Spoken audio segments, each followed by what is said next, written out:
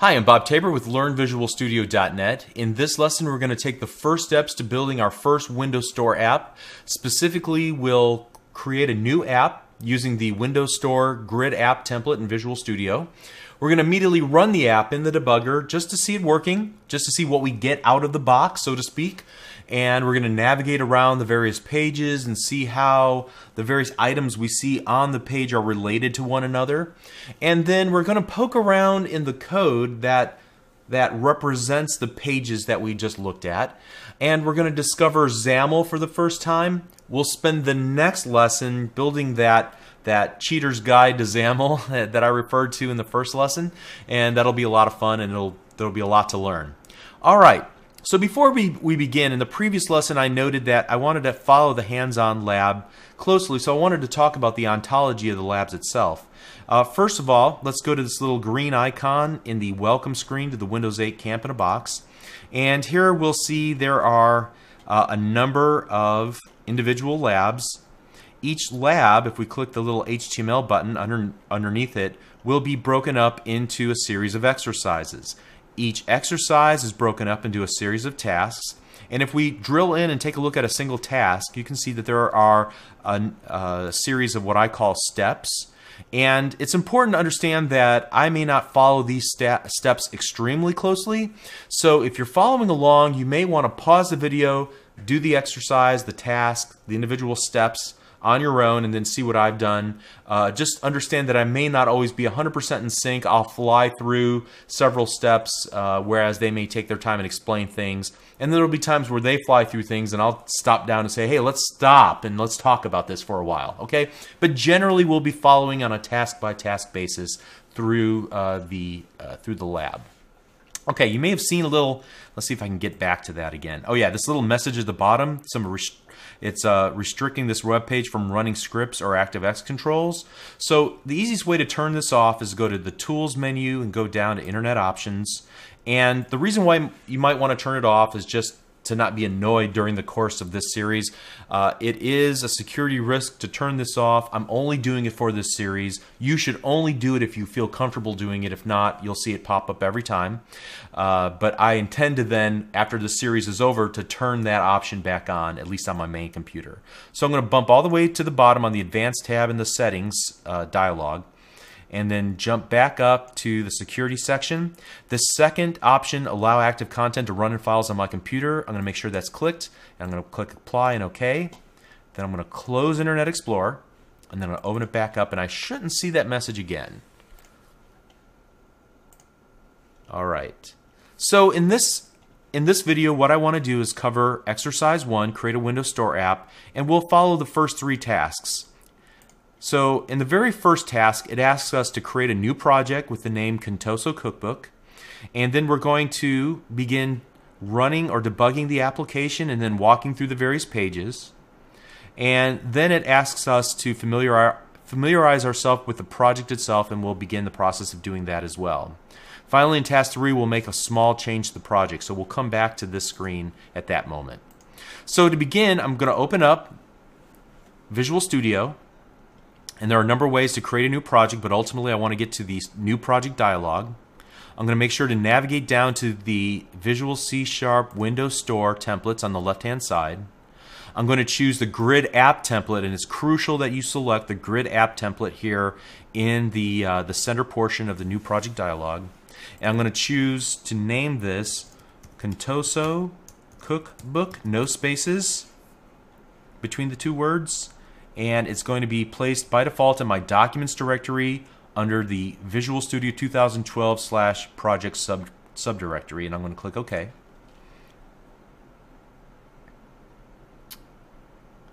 And after a moment, we'll see our project loaded into the main area and in our Solution Explorer.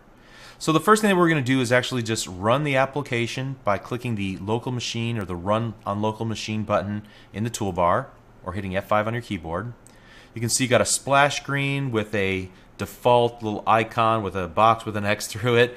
And then we have what looks to be the beginnings of our Contoso cookbook. Now, instead of recipes and then cuisine types, what we see are group titles. So group title 1, group title 2, group title 3, and each of the groupings have a number of individual items. Each item has an image as depicted by uh, either a light, medium, or dark gray tile.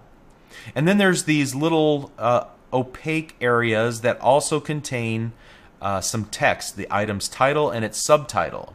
Now, this looks right out of the gate an awful lot like what we intend to build with the Contoso cookbook. This is what I was telling you a bit earlier. The the uh, the grid app template in particular gets us really close right out of the gate by default, out of the box for free, and gets us close to where we want to be. And now it's just a matter of tweaking this project to make it look and feel more like our specific application by adding branding elements, adding our own data, and so forth. Uh, we're also going to need to add some additional functionality using the, uh, the Windows runtime for the various features that we're going to employ.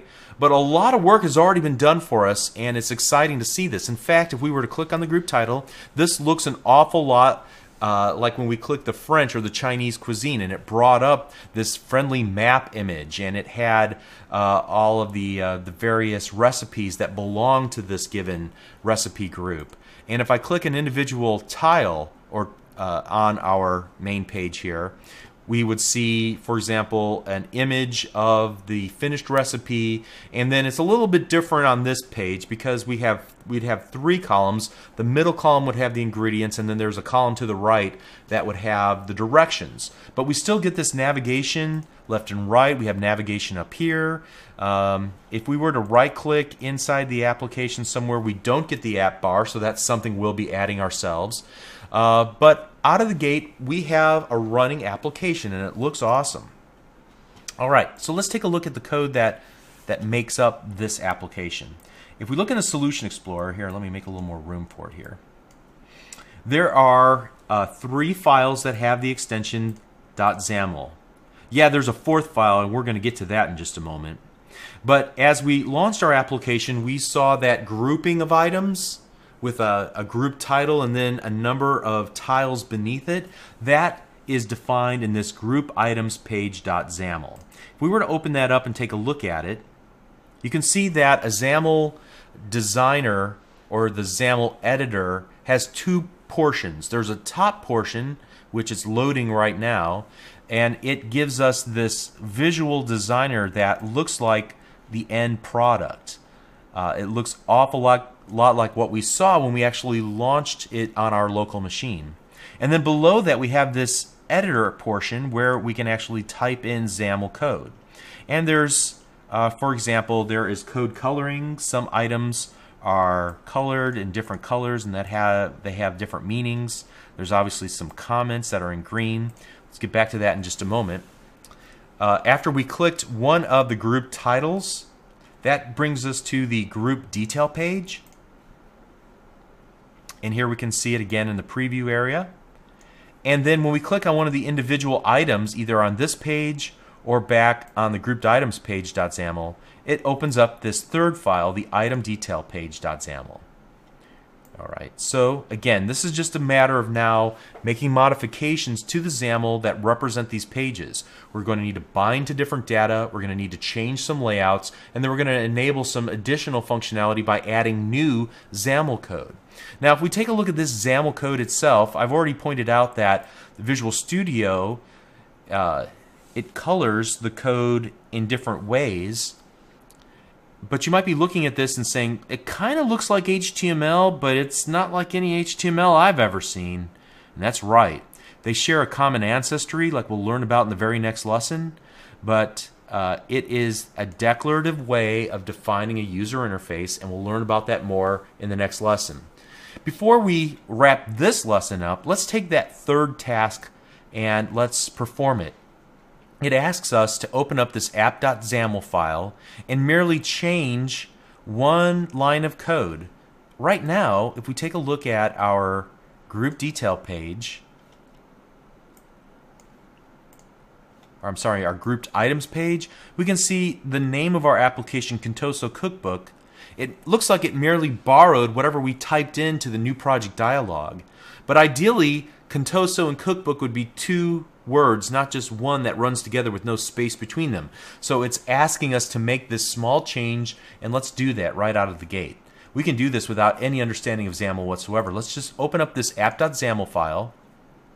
Notice that while it's a XAML file, it doesn't have a visual portion per se, so we just get the XAML editor.